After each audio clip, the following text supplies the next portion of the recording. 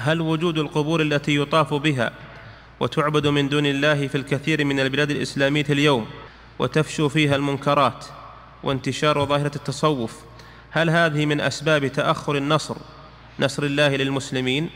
بلا شك. المعاصي المعاصي اللي دون الشرك ودون الكفر سبب لهزيمة المسلمين. استحلال المعاصي أو فعل المعاصي بدون استحلال لما الاستحلال هذا كفر لكن إذا فعلوا المعاصي ظهرت فيهم المعاصي وترك إنكار المنكر. صار ما فيه إنكار منكر ولا أمر بمعروف وجب عليهم العذاب استحقوا العذاب من الله عز وجل. فكيف بالكفر والشرك؟ هذا أشد. نعم.